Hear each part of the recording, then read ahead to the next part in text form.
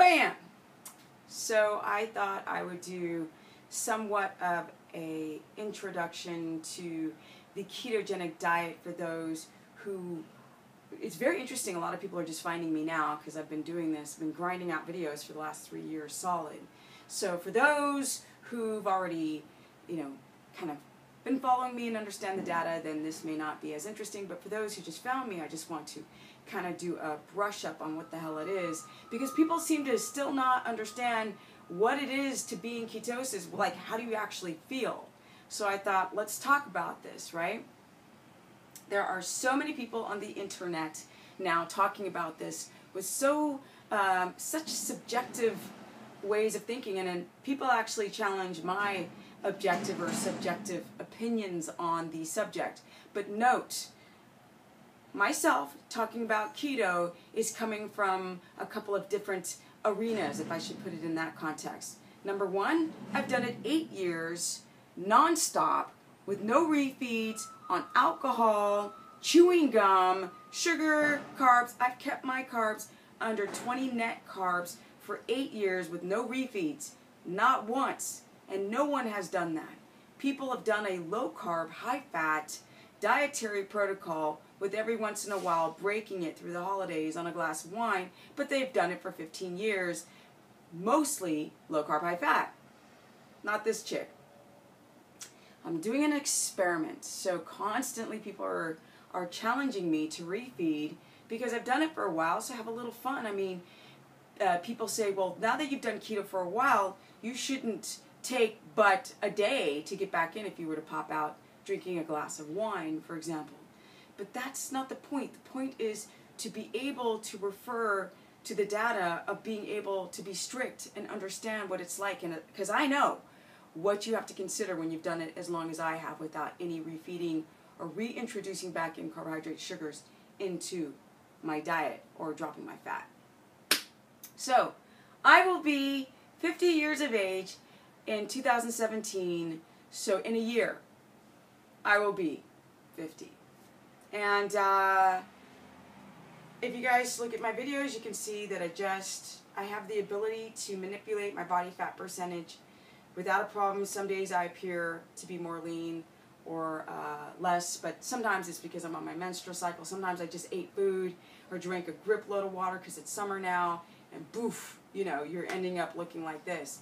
But um, this is the by effect being in ketosis for a long time, and um, I show you my physique so you understand you can go back and match videos and see that as I get older, as, as I get older, as you guys can see, physically and the body just gets better. I often explain to people I'm lean, but I have a lot of subdermal fat or subcu fat, but really in the, the, the layers of my skin, you can see there's a lot of fat uh, because I eat a very, very high fat diet. I probably have my fat around 200 grams 220 grams of actual total fat, not in grams of weight, but I probably have that much in my diet, which obviously prevents me from drying out. Um, you can see that the size of my muscles are not huge, right? So this is all natural. I did a video, some videos ago about dropping all my supplements. Now, a lot of you guys are getting that wrong. I'm not saying to get rid of all your supplements. I'm saying I decided to get rid of them because I had 500,000 of them.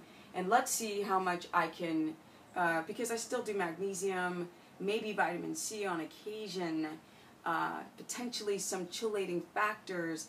But in the most, I just want to take my liver break from all the supplements. Um, but anyway, I digress. Let's get back to keto and how do you know if you're in ketosis? Well, clearly you guys can see that I'm in ketosis just for the physical aspects of um, you know dieting creates vascularity you're losing a lot of water you're losing a lot of fat fat in the skin and that's why people become very dry and as you can see a woman who is almost in her 50s i am not dry whatsoever now my skin collagen is still very elastic there's still a lot of fat in that skin which is the youth and vitality that we're looking for and this is what i know is the change from me having videos or pictures of me at 36 and me now being uh, 49. So this is the uh, the um, you can compare the two and really see that the body really just gets better as you get older. We don't have to age, guys, like uh, exponentially in that rapid pace that we've grown up believing that's what age looks like. You slow down, you know, you get tired, uh, you you just age. Your skin ages, your everything ages. Your sleep becomes less. Your stomach acids go down. Digestive, all these. That's not true. That you, you don't have the energy, energy, energy. You can have the energy, but let's talk about the signs and symptoms so you guys don't go nuts waiting for that content in the video. So essentially, uh, you know it's a high fat, low carb diet. You have to have enough fat in your diet to stimulate fat breakdown, lipolysis, and get your liver to start converting units of fat into viable sources of energy that can fit within your energy system, your the Krebs cycle, to fit within cells to be used as energy rather than glucose. Which somebody had inboxed me that there's an article that you know uh, the brain cannot run on anything but glucose. Well, clearly I am not dead, so that is not true. So I digress. Here we go. Um, you got to flood the bloodstream with fat. There's problems with that. A lot of you guys have gallbladder issues. You have low stomach acid. You start upping your fat. You get up to about 100. People are like, uh, I'm gagging. I felt bloated. I feel nauseated. Not not everybody, but a lot of you guys do. So up, the fat goes back down, and then you have your carbs low. You have your fat too low. You have your protein too high. You don't adapt. You might lose some water weight or muscle, and so you lose weight on the scale, and then you think that you are now adapting because that's how people measure if they're in ketosis is to measure if they've lost weight on a scale, which is so stupid. I mean, people aren't stupid, but that concept is very naive. Um, then they don't adapt. Then they their cravings come like insane cravings, and then they digress, and then they cheat, then they binge, and hence the whole cycle starts. The water comes back up, or they'll gain half that water back, um, so what you do feel, I want to talk about how you. So I've been in ketosis for eight years solid, eight. It's over eight now because every day ticks and time keeps moving. And uh, I noticed that, sure, if I eat too much protein, if I eat it too fast, that's my nemesis. That's the thing where this kind of insulin response happens. I, my protein is converted back into glucose. Brain's like, whoa, flood of glucose. It's not really a lot of glucose, but my insulin sensitivity slams down that glucose and I feel tired. And uh, I feel sleepy, more sleepy. And uh, it's, a, it's a crappy feeling. You guys are walking around all the time feeling tired and sleepy. I don't know how you do it. People are literally like, you don't do caffeine? Like, not at all? Like, at all. And I'm like, looking at them like, you're, are you nuts? Shit's nasty. That, what's wrong with you? And when people are like, what's wrong with it? I'm like, only an addict would say what's wrong with it. Like, hello, this is a natural body, right? Caffeine is not an essential nutrient. To heal the body is like overstimulates the adrenal glands to do a job they're not equipped for. So a lot of you guys crash, right? You become malabsorptive, and D's and testosterone come out. They're not being absorbed. Growth hormone, everything's not functioning in a homeostatic balance. But when you're adapted, you begin to, uh, like I said, skin be like small things. Skin begins to feel really moist and and not dry, right? That's one really amazing quality in your hair. Your nails get strong. Uh, you begin to sleep better. Nine times out of ten, these are the emails I get from clients. I'm sleeping so much better. I, I never thought I could sleep better. I thought I was a night owl. I thought I was nocturnal and then they start getting into the right circadian rhythm because to keto adapt, you have to do everything correct. If you do not do the right application of keto, you will not adapt. Therefore, you will always be a carb burner trying to keto adapt. And there's a big distinction with that. Um, you feel uh, energized. It's like kind of weird because you feel good, right? You feel ripe. You feel balanced. You become more objective. Like the mind the candida overload on the brain cells, the glucose, the, the high glucose, which the brain doesn't like, all of a sudden you have this mental clarity, you're remembering things more clearly, you become more hor- hormonally balanced, your reproductive system as well as your adrenals balance. And so it's not just like a, you know, oh, I'm I have a lot of energy like I took Adderall. No, it's a kind of it's a kind of hippy dippy body balance energy. I can't explain it where you actually feel more connected to the moment, right? You don't feel so ADD, you know, just cranky and moody and can't focus. Like I watch people having conversations, they're tapping on things, their eyes are tracking all over the place. Like they're not there. Like that's your hormones out of whack.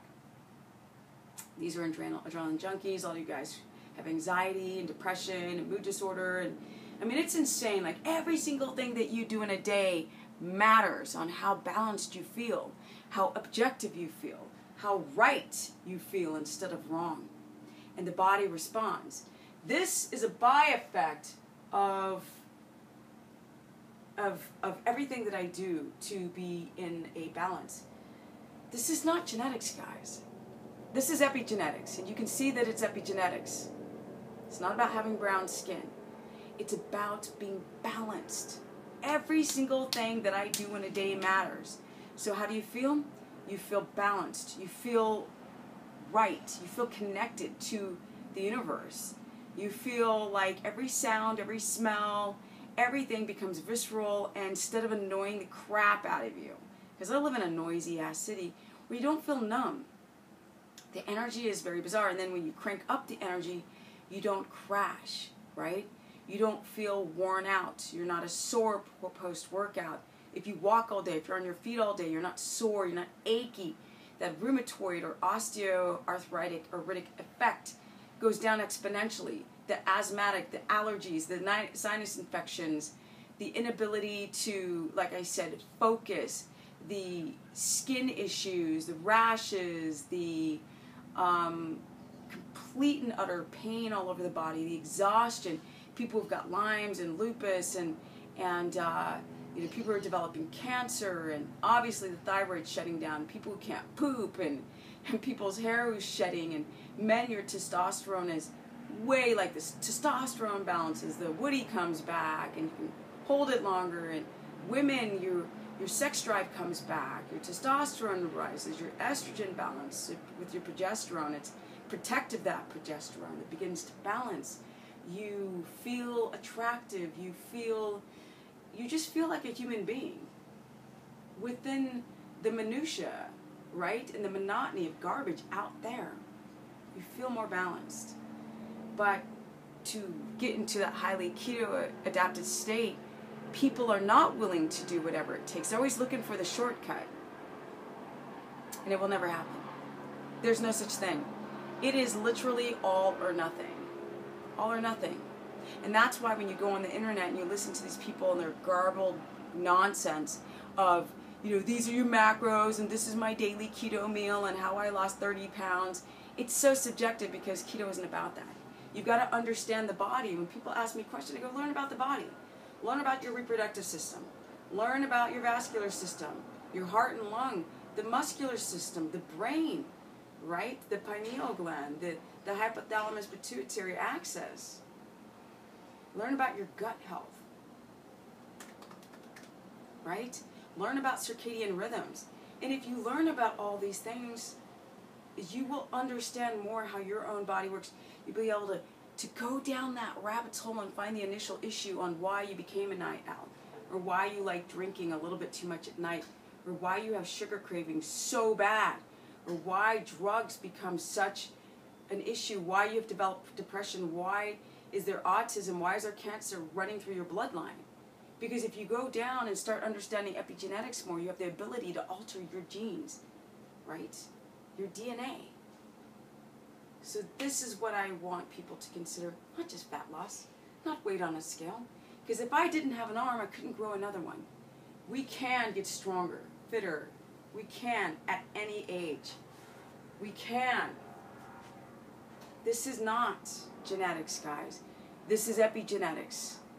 And if I've got to go and bounce around and show my energy in videos, to draw the attention to really go down and find the underlying issues of why or the big questions of who what why and how we've come to where we're at.